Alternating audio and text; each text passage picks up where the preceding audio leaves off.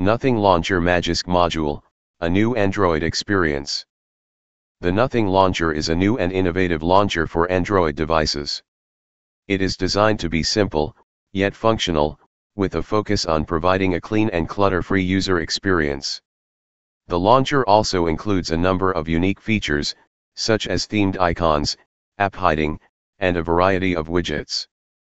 The Nothing Launcher is now available as a Magisk module, which means that it can be installed on any rooted Android device. This makes it a great option for users who want to try out the launcher without having to flash a custom ROM. Features Themed icons The Nothing Launcher comes with a set of unique and stylish icons that can be applied to all of your apps. App hiding The Nothing Launcher allows you to hide apps from your home screen and app drawer. This is a great way to declutter your home screen and keep your privacy. Widgets The Nothing Launcher includes a variety of widgets, including a weather widget, clock widget, and search widget.